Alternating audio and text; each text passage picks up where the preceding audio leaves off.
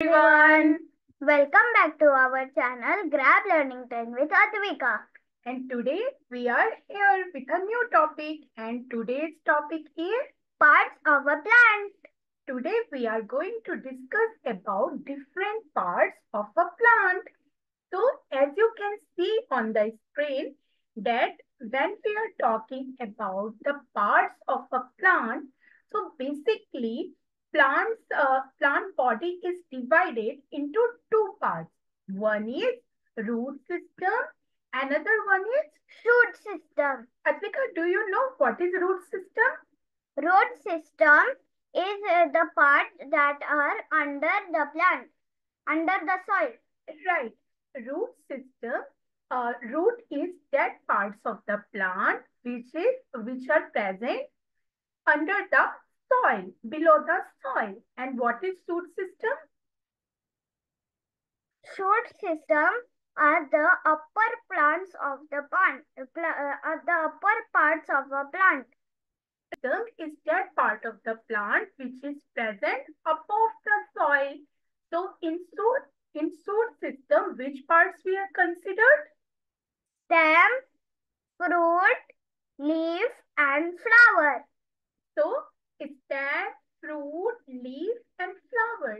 These, these parts are present on above the soil and these parts of the plant are considered as a shoot system. Is Roots. roots? So roots are the very important part of plant because they absorb water and mineral from the soil. Can plants survive without water and mineral, Advika? No, plant not at all.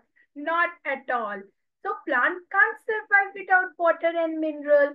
So roots plays a very crucial role because they absorb water and mineral.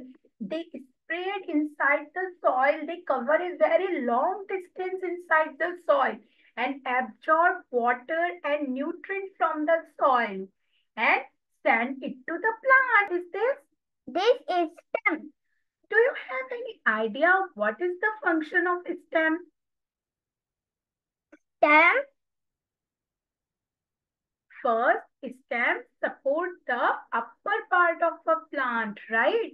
And we know that root absorb water and minerals from the soil. But how, but how do the water and mineral transfer to the other parts of the plants? Do you know this? uh, from the help of the stem. Yes, with the help of stem. Stem transfers water and nutrient to the other parts of the plant because all plants need energy, right? All plants require water, minerals. So, what is the function of stem? Stem also plays a very crucial role. Whatever root absorbs from the soil, stem transfer it through the stem transfer to the other part of the Body. plant. Which part is this? Leaf. Green, green. Uh, can you tell me that leaf is only green in color or they can be of any color? They can be of any color. For example, red, orange, and gold in the fall, and uh, also many other colors. Okay, but mostly green, uh, mostly leaves are green, right? Do you know one thing? The leaves which are green in color, they can prepare their own food. Mm, yes, You know this, right? So what is the function of leaf, you know? In plant body, what is the function of leaf? leaves makes uh, make its uh, own food. Yes, with the help of, what is the name of that process? Mm, photosynthesis. Right. So kids, leaves can, green leaves can prepare their food by themselves with the help of photosynthesis. So photosynthesis is a process in which, you know, Advika, what happened in photosynthesis? Plant absorbs sunlight, right? Plants use carbon dioxide and plants use water also to prepare their own food. Right? Yes.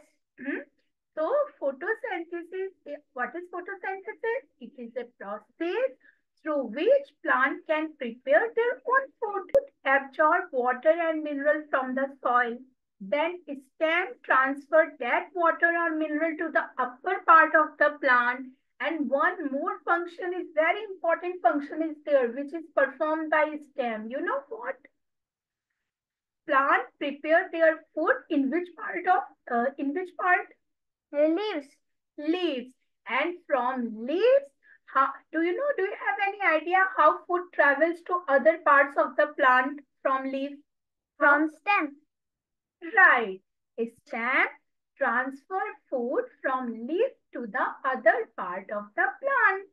These are fruits. Do you like fruits? Right. So which fruit is this? These, these are mangoes. And what is your favorite fruit? Apple. Okay. So, Advika, do you know that fruits are produced from flowers? You know this? The plant uh, which bear flower, they can only produce fruit, right?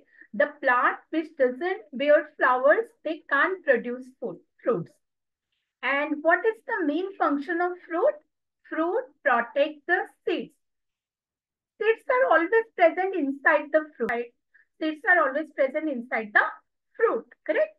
But, uh, you know, Advika, there are some fruits in which seeds are absent. Can you give me one example of such fruit in which seeds are absent? Banana. Banana. There is no seeds in banana, right?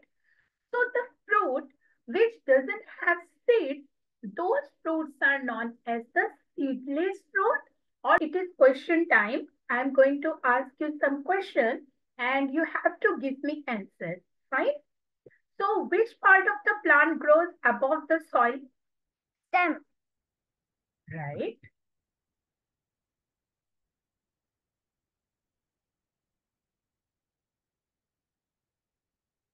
Which part of the plant absorbs water and minerals from the soil? Root. Which part of the plant produces fruit? Mm. Flower. Flower. Correct, right? So, Advika, can you explain what did you learn today? Today I learned the parts of, mm, of plants. Right, parts root of system plant. and shoot system. So, what is root system? Root system uh, is the part that is under the soil. That present under the soil. And what is shoot system? It is the, the part that is uh, above the soil. Shoot system is the part that is that is present above the soil. So which part of the plant are considered as a shoot system? The, uh, the stem uh, is considered as a shoot system. Leaf, Leaf, flowers, flowers and fruit fruits are or vegetables. yes, these parts are considered as a shoot system of plant. We will try to meet you soon with the uh, with new topic. Till that time, Bye.